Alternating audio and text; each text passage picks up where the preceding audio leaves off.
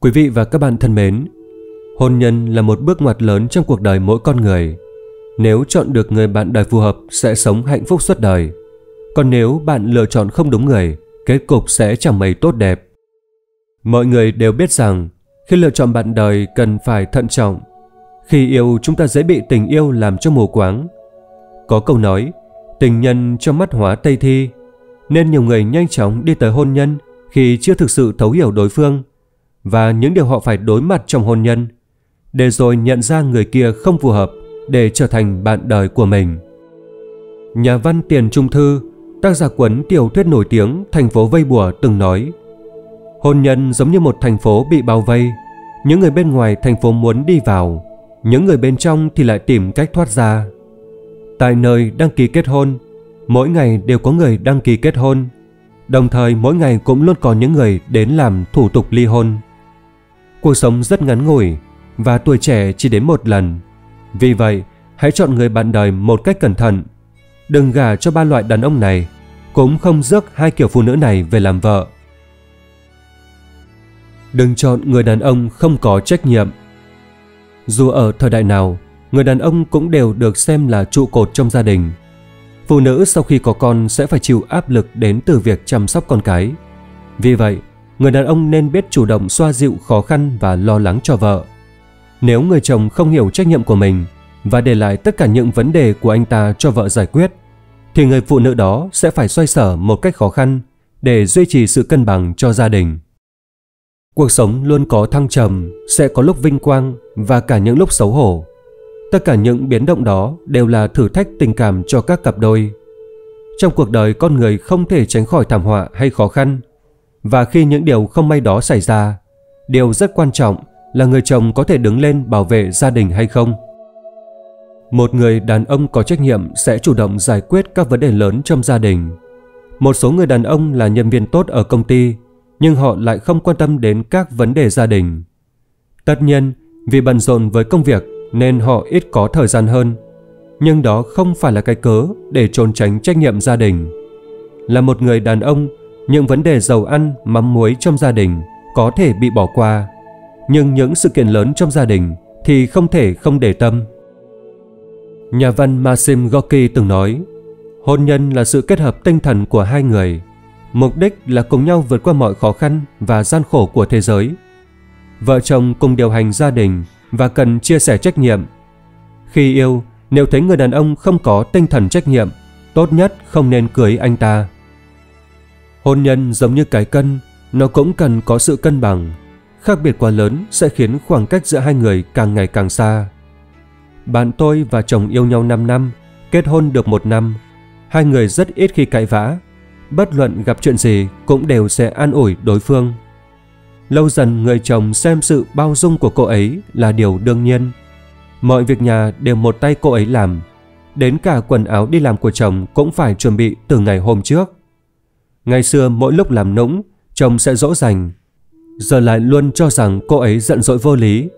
Lần họp mặt bạn cũ trước, vì một chuyện nhỏ nhặt thôi mà chồng cô ấy mắng cô ấy trước mặt mọi người. Khi cô ấy nhẫn nhịn, muốn về nhà ngồi lại nói chuyện với nhau, chồng lại trách ngược cô ấy không nghe lời mình. Trong hôn nhân, không phải mọi nỗ lực bỏ ra đều sẽ đổi lại được trái ngọt tương xứng. Thay vào đó, sẽ chỉ đổi lại được sự thản nhiên và vô trách nhiệm của đối phương. Gặp phải kiểu đàn ông này, cuộc sống sẽ trở nên vô cùng khó khăn. Những nỗ lực và cả những đòi hỏi không giới hạn sẽ chỉ khiến hôn nhân trở nên tồi tệ hơn. So với hoàn cảnh gia đình, giáo dục và tính cách của một người quan trọng hơn rất nhiều. Gả cho một người đàn ông có trách nhiệm, biết suy nghĩ, bạn mới có chỗ dựa, mới không phải sợ hãi trước phong ba bão táp của cuộc đời. Đừng gả cho người đàn ông không tập trung vào sự nghiệp. Một người đàn ông không tập trung vào sự nghiệp sẽ làm tổn thương đến gia đình của anh ta. Một mặt, nền kinh tế của gia đình đó không ổn định. Mặt khác, có rất nhiều rắc rối phát sinh từ người đàn ông khi mà anh ta không chăm lo cho công việc của mình. Tình huống này sẽ khiến người phụ nữ trong gia đình phải chịu nhiều cảm xúc tiêu cực, cuộc sống khó có cảm giác hạnh phúc. Những người đàn ông lười biếng, không cố gắng thực hiện tốt công việc, phấn đấu sự nghiệp thường có nhiều tật xấu khác, khó mà vun vén cho gia đình êm ấm. Như câu nói, giang sơn dễ thay đổi, bàn tình khó rời. Thật khó để một người có thể tạo ra những thay đổi lớn, trừ khi anh ta phải chịu đựng rất nhiều mất mát. Phụ nữ phải lựa chọn thật kỹ càng. Nếu họ thấy một người đàn ông như vậy, tốt hơn hết là không nên kết hôn với anh ta. Không nên kết hôn với người đàn ông tốt với người ngoài quá mức tệ với người nhà. Trong xã hội, kiểu đàn ông như thế này không hiếm. Với người ngoài, họ có thể phong độ ngời ngời, thích giúp đỡ, luôn tỏ ra mình là người ổn trọng, đáng tin cậy. Tuy nhiên, với người nhà họ lại rất khác, gắt gỏng kém tin tưởng. Thậm chí khi có chuyện xảy đến giữa người nhà với người ngoài, họ lại thà tin người ngoài còn hơn. Lúc đó chắc chắn cảm giác của bạn sẽ vô cùng bẽ bàng, thất vọng và đau khổ. Trong tình yêu, nhiều cô gái nhận ra tính cách đó của chàng trai, nhưng vì yêu mà không dám chia tay. Họ luôn mù quáng tin tưởng vào cái gọi là sửa đổi được, để rồi sau kết hôn thất vọng hết lần này đến lần khác. Những gì có thể cảm nhận được khi đang yêu, sự lấn cấn lúc cả hai ở bên nhau thì bạn cần phải xem xét thật kỹ.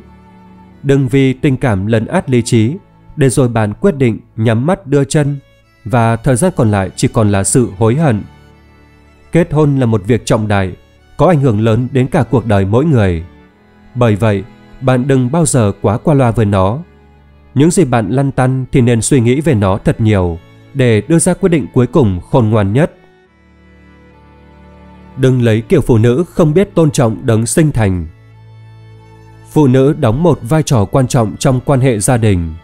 Một người phụ nữ tốt có thể làm cho gia đình hạnh phúc, vợ chồng hòa thuận. Phụ nữ nên biết cách để có thể duy trì sự hòa thuận trong gia đình, vì họ là người giữ lửa hạnh phúc. Đàn ông xây nhà, đàn bà xây tổ ấm.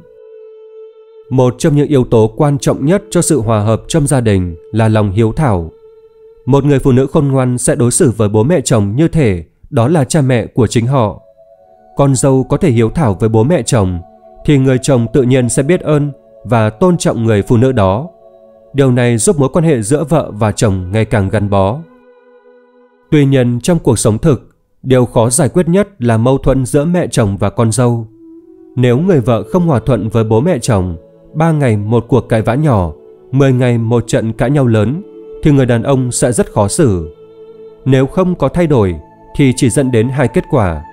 Thứ nhất, vợ chồng sống tách biệt với bố mẹ.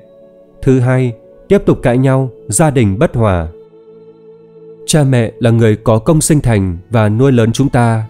Được phụng dưỡng cha mẹ là hạnh phúc của con cái. Nếu một người phụ nữ không thể làm được điều này, tốt nhất nên quên họ đi. Đừng lấy kiểu phụ nữ không có lòng bao dung. Trong cuộc sống, không thể tránh khỏi va chạm và gia đình đôi khi cũng đi sai hướng. Đàn ông đôi khi sẽ mắc sai lầm và lúc ấy phụ nữ cần một chút khoan dung. Một người phụ nữ khoan dung có thể chấp nhận được khuyết điểm của gia đình chồng. Kết hôn là chuyện của hai người, nhưng thực tế là vấn đề của cả gia đình. Sau khi kết hôn, ngoại trừ chồng thì bố mẹ của chồng chính là những người gần gũi với mình nhất. Do sự khác biệt về thời đại, độ tuổi, thói quen và cách sống, một số từ ngữ và hành vi của người cao tuổi sẽ khó để những người trẻ tuổi thích ứng. Giới trẻ cho rằng đó là thiếu sót của người già, nhưng người già cũng nghĩ rằng họ đúng. Trong thực tế, không có đúng hay sai, chỉ là cách suy nghĩ khác nhau. Tất cả những gì cần là sự bao dung và thấu hiểu người khác. Một người phụ nữ khoan dung có thể chịu đựng thiếu sót của người khác. Mọi người không thể luôn luôn làm đúng mà không bao giờ mắc phải sai lầm.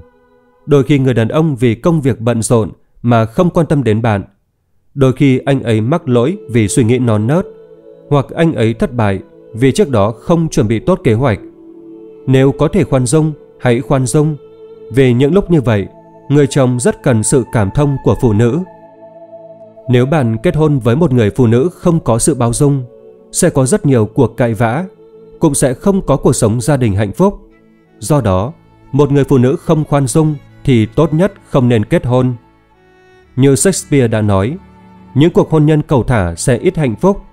Hôn nhân là vấn đề của cả cuộc đời và phải được xem xét cẩn thận. Nếu người bạn đời không phù hợp, cuộc sống sau này chắc chắn không hạnh phúc. Thứ ba, đừng lấy người phụ nữ lười biếng. Thông thường trong các hộ gia đình bình thường, nói chung đàn ông là trụ cột của gia đình. Họ đi mưa gió bên ngoài để đổi lấy tiền của gia đình. Người vợ nói chung trở thành bà nội trợ. Và điều quan trọng nhất là chăm sóc con cái và người già ở nhà. Nhưng nếu bà nội trợ này không phải là người chăm chỉ ngăn nắp, mà còn là một người to mồm thích ngồi lê đôi mách, trong trường hợp này sẽ rất kinh tởm. Đặc biệt là những người kể chuyện nhà mình cho người này người kia, rồi kể chuyện nhà người khác. Điều này không chỉ gây mâu thuẫn gia đình, mà còn gây bất hòa giữa hàng xóm với nhau. Nó cũng sẽ gây ra một số thiệt hại cho gia đình. Bất kể xuất phát điểm là gì, hầu hết phụ nữ sẽ bị lỡ miệng và sẽ không được chấp nhận trong đám đông. Suy cho cùng, có một số việc có thể nói ra, có một số việc liên quan đến bản thân hoặc người nhà của người khác. Lời nói và việc làm đương nhiên phải thận trọng, bởi vì bạn phải kiểm soát được cái miệng của bạn. Cái miệng là đầu mối của mọi tai họa. Ngoài ra còn có một người phụ nữ lười biếng, điều mà nhiều người không thể chấp nhận được.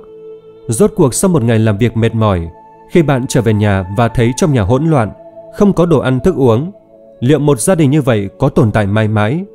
Nếu gặp được người nội trợ giỏi giang, đảm đang chu đáo, thì gia đình sẽ tự nhiên hòa thuận và tốt đẹp.